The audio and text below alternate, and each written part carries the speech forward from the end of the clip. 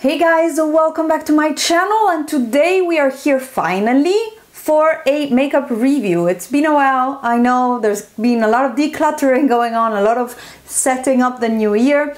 I am glad you guys enjoyed the intro to my low buy as well as uh, my decluttering series and um, yeah, it's time to just get back into normal um, but yes, it's just time to get back into normal content. And today we are going to be talking about We Makeup eyeshadows. Now, this is the palette that I have and I have used it now since Black Friday. I have a good idea of uh, how these perform and my thoughts about them, as well as I actually have uh, heard and listened to all of you guys' input as well. Um, there are a few things that, for example, were brought to my attention, and then when I was uh, wearing the eyeshadows myself, I was like, yeah, actually, that is totally true. Now let's start. We Makeup is a young and new Italian makeup brand. They are independent and they ship all over Europe. So I had my packages shipped to me here in the Netherlands from Italy. They started with liquid lipsticks and now they brought recently out, I think last summer, a whole line of uh, single eyeshadows. And of course, as you know me, I cannot resist when there's single eyeshadows involved. So I placed an order with Black Friday and they have different options. Their eyeshadows are available for purchase uh, individually or in uh, pre-formed palettes that uh, they have curated and these go for 34 euros full price and often on discount also now when I'm recording for 24 euros for nine eyeshadows and these have different themes and they are just arranged by their creative directors or whoever does their palettes. Otherwise, you can customize your own palette and uh, a nine eyeshadow palette that is personalized for you. That is uh, 39 euros full price and 29 on sale. Instead, if you want a larger eyeshadow pan, a larger eyeshadow palette you can um, personalize a 15 eyeshadow palette and that is for 49 euros full price or 39 um, in uh, sale and then you have their Pro palette, which contains all of their eyeshadows and it's uh, 56 colors in four different uh, textures. And that retails for 150 euros full price or 130 on sale.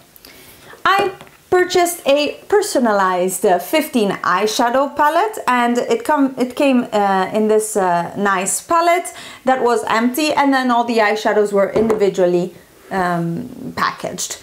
They came in a box and then inside the box there was this beautiful packaging that is uh, their brand and um, some of their uh, some of their yeah um, text. And it actually states that uh, they started as 50 years ago as a, a, tiny cosmetic lab developing formulations for renowned brands. And since 2016 they have uh, started their own uh, brand for sale. So they were formulators and now they have a brand for sale. Um, the box is, slides out and opens up like this. I saved it to show you because I thought the packaging was really nice. It came with little paper to secure the eyeshadows and each eyeshadow came in its own little rectangular sleeve with the name and color of the eyeshadow on the back. I'll insert a photo because I don't have those anymore. And each eyeshadow looks like this. It is a small pan. It is smaller than a 26 uh, millimeter eyeshadow pan, as you can see, as well as there is less product in here. A typical 26 pan contains one and a half to two grams of product, let's say. This one is from Makeup Geek, contains 1.8 grams of uh, product, whereas the We Makeup eyeshadow pans contain 1.2 grams of product. One of the first criticisms I have is that there is no indication of what this eyeshadow pan contains, what number it is, there is no name of the eyeshadow. I have personally written the name in the back with a sharpie once I took it out of the sleeve because I wanted to know what eyeshadows I was working with for my blog but also just simply to know when people asked me what eyeshadows I had and what I was using. So um, that is one of the drawbacks I find because it would be very I don't know if it would be easy, but it would be very helpful if behind the shadows there would be a little sticker with the number of it. Another thing, all eyeshadows have numbers and they have uh, different um, classes of eyeshadows. They have 33 matte eyeshadows, 7 shimmer, 11 metallic and 5 duochrome eyeshadows. I am reading off of their website. And uh, the matte eyeshadows come with a one number to start with. So all the matte eyeshadows are in hundreds. Uh, 109, 101, 102, and so on. Then the shimmers are in the 200, so we have 200, 201, 2, 3, 4, 5. Their 3D metal finish has the 300 numbers, and then their duochromes have a 400 number. So this one here, which is a um, nice duochrome with a, a teal sparkle, is a number 404. These eyeshadows fit nicely and snugly into their palettes and it is very easy to just plop them in there. Sorry, doing it backwards is a bit harder, but the palette is magnetic in itself. And on the back of the palette, I hope you can see all the tiny holes and you can just insert a pin to push the eyeshadow out. I think this design is very smart. The palette in itself feels really, really good. It's really sturdy. The magnetic uh, uh, opening of the palette itself is quite strong and hard. And the mirror, now I'm gonna blind you, is really nice and big.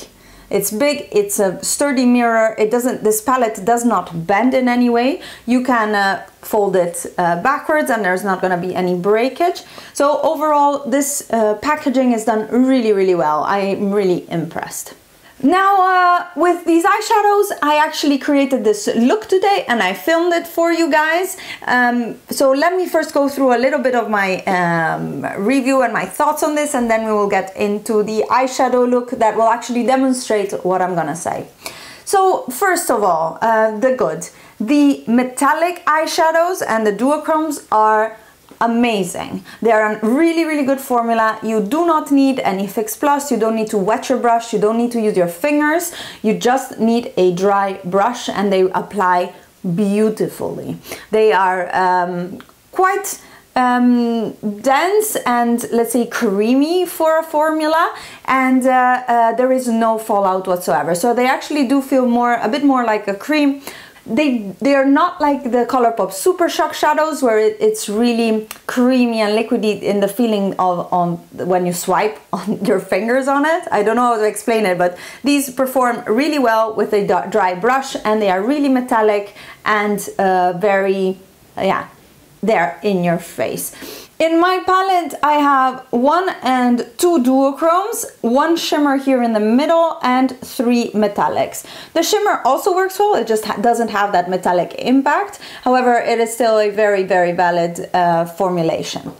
Now, I have hooded eyes, I've said it infinite times. My eyeshadows, my favorite eyeshadows and what my heart beats for are the mattes. Colorful mattes are very important to me because that is when I have my eyes open, that is the color you see. If I close my eyes, you'll see what I have on my lid, so the shimmers, but otherwise you will only see what I have in my crease. So I bought a lot of matte eyeshadows and uh, one row of neutrals, because um, it works very well with anything that you want to do and one row of colorful uh, mattes. Now, uh, first of all, uh, color the color choices are really good. You have a little bit of everything for everybody, a lot of uh, variety, and they're continuously adding new shades. So I think that is very, very good, and uh, it's definitely something that keeps up the interest in the brand.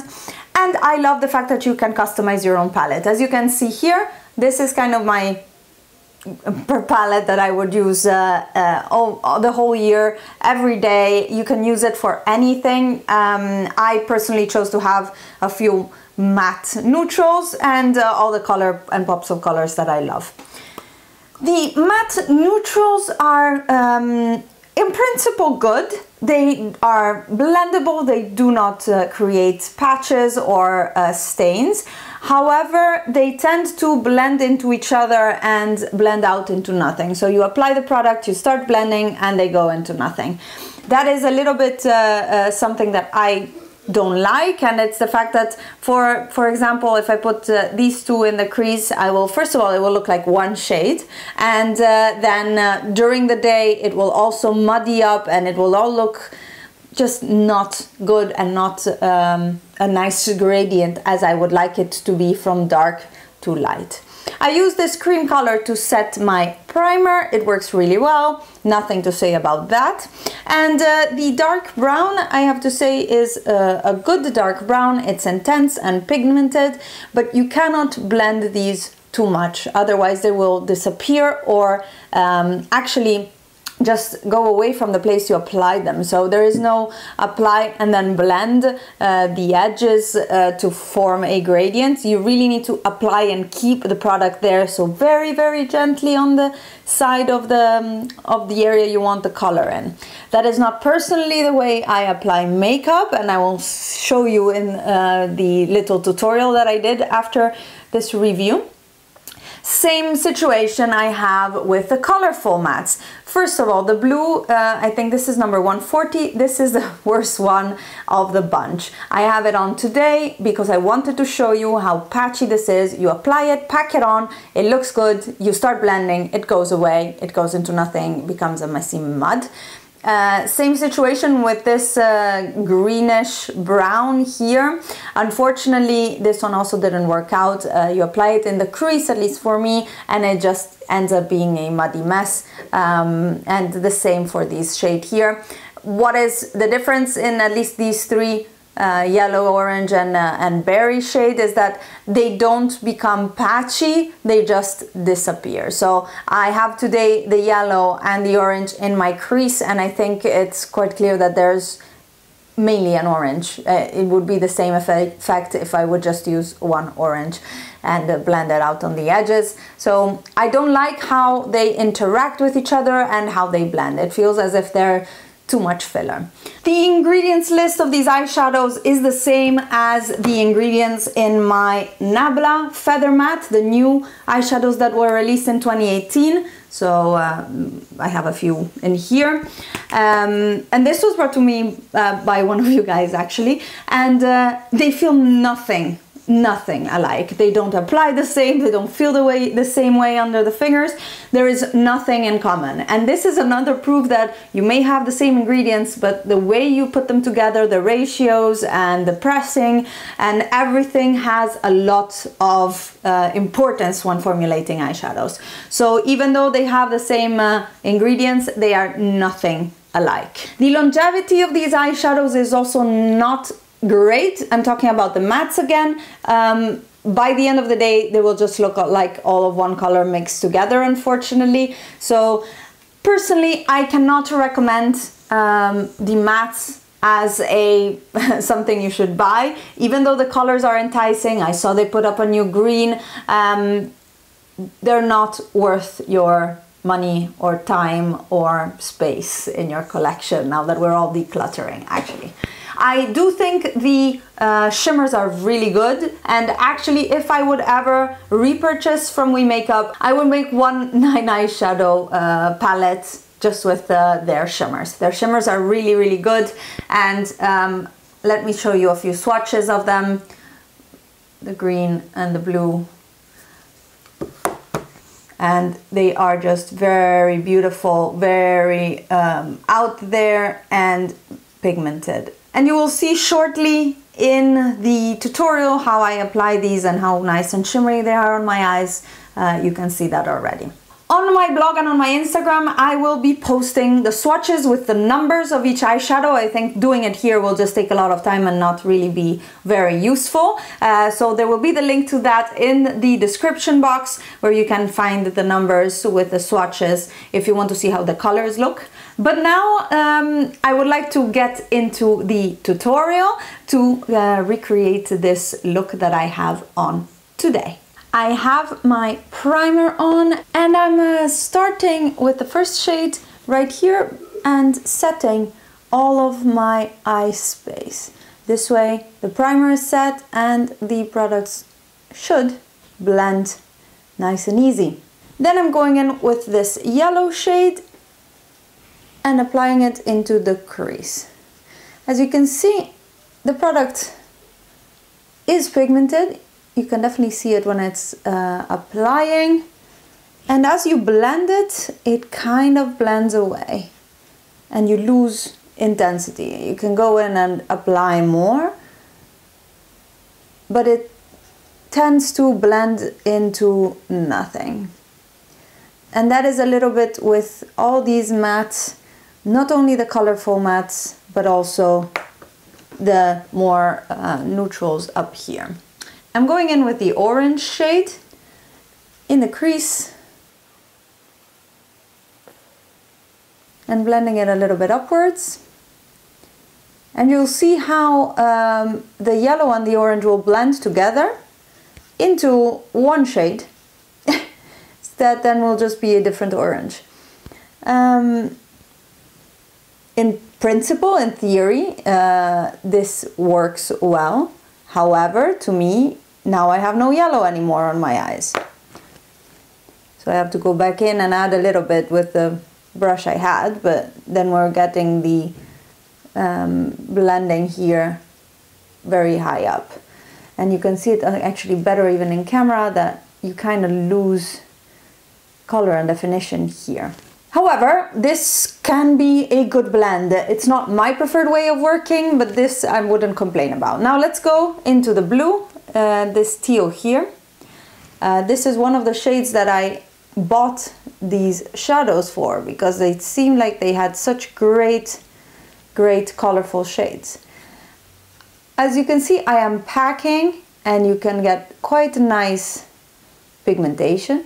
The moment you go to blend, it starts to get patchy, it starts to lose intensity, and to me it looks like um, here. You see how I lost all pigmentation in that corner.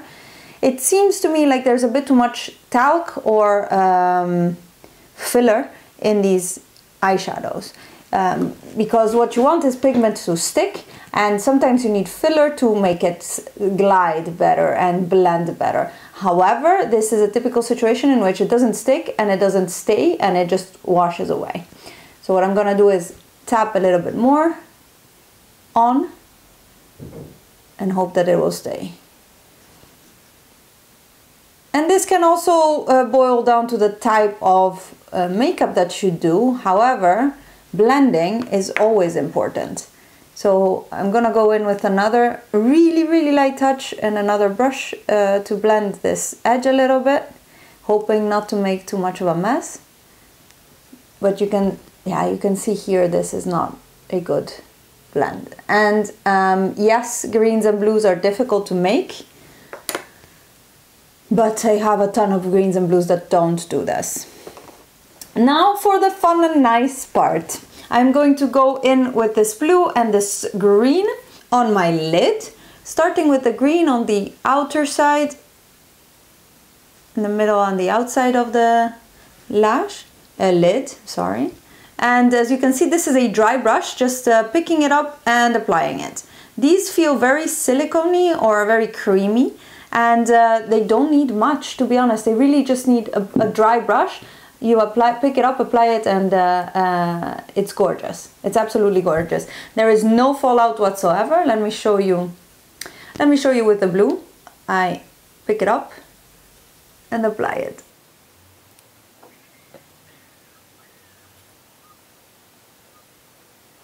They apply beautifully and they blend really well into each other.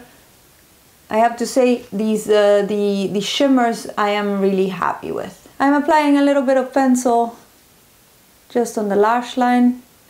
This is from Kiko. And then uh, another Kiko pencil in my lower lash line and this is a plum shade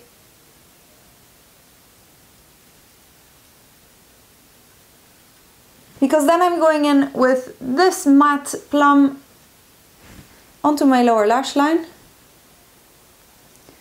and this one behaves similarly uh, to the orange and the yellow in the sense that it will apply nicely but if you blend it on a, on a bigger area it will just blend into nothingness.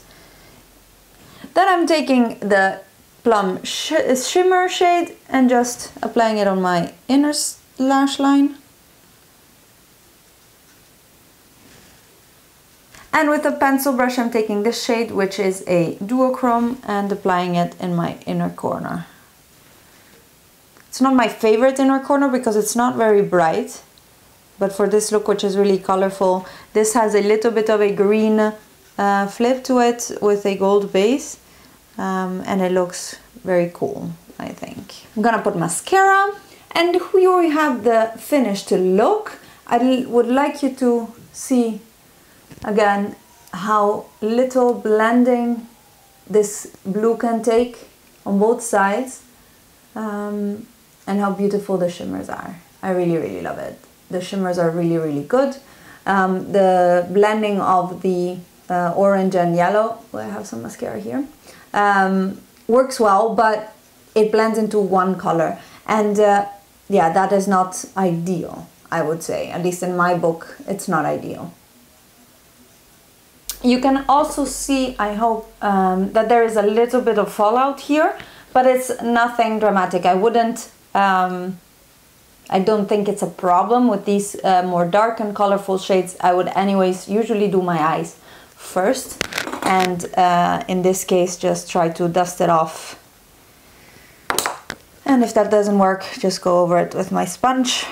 So that was the eye look for you guys. As you have seen, not amazing. Uh, I would definitely, again, not recommend the mattes. I hope this uh, uh, review was helpful for you. I don't want to bash per definition. I think it's a, a, great idea. I think the packaging is amazing. The metallics are amazing. Um, the idea of being able to create your own palette on their website, seeing it in, a, in the palette, I think it's great. Their shipping was very fast. Their um, Customer service is quick to reply. I had a few questions on discount codes that they have um, that were not valid anymore or not in Europe. They were really nice, polite, and uh, uh, willing to help. They also have a pro um, program, so you can get, uh, I think, 30 or 40% discount if you are a registered or certified makeup artist. And uh, yeah, overall, I just would not buy any of the mattes. Save your money, buy yourself some Makeup Geek or Colourpop. Uh, I find those are much, much better quality. And on the other hand, uh, I might get myself a few more metallics in the future, but not so near future. I hope this was helpful. Please let me know down below your experience with these eyeshadows. I know there's uh, infinite, myriad amount of experiences out there. Some people love them, some people um, don't talk about it, so they don't want to hate them, I guess. Um, I just wanted to be uh, useful for you guys and uh, have a conversation down in the comments. If you uh, like this video, give it a thumbs up. Don't forget to subscribe to my channel and I will see you in my next video. Bye guys!